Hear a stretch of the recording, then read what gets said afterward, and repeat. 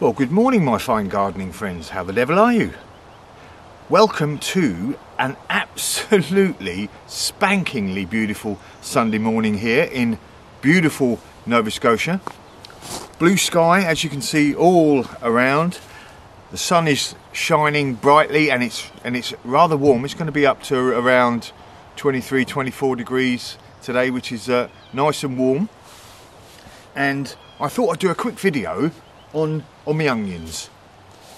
Because uh, they're growing strongly but they're coming towards the end of their of their growing season. And the reason I can tell that is they're starting to brown off as you can see on the tips here.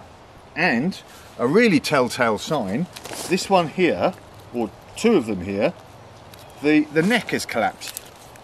So as you can see it's not the the biggest one ever. But as you can see there, the neck has collapsed.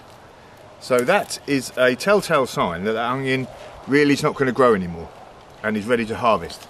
So although most of these are still growing strongly, um, these couple here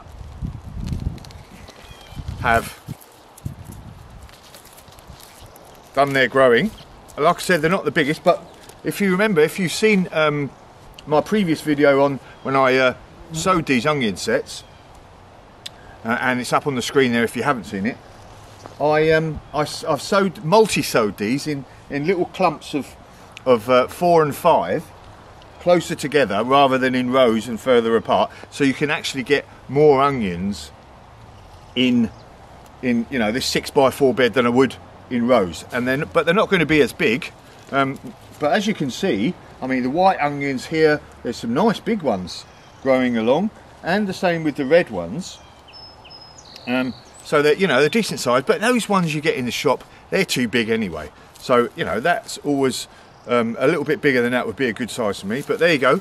I thought I'd do this uh, little video just to show you that the um, the onion is done its it's growing when it collapses like that.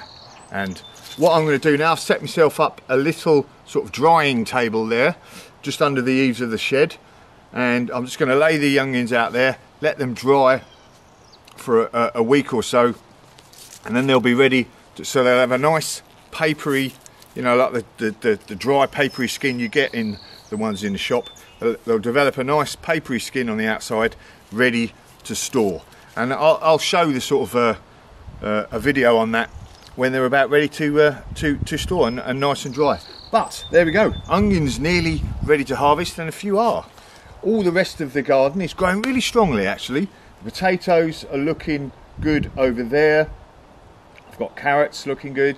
The raspberries have been growing really strongly. Strawberries are hand over fist. I've been I've been uh, eating strawberries, and the tomatoes in the greenhouse are growing really well now. So everything is uh, looking rather good at the moment, especially these onions.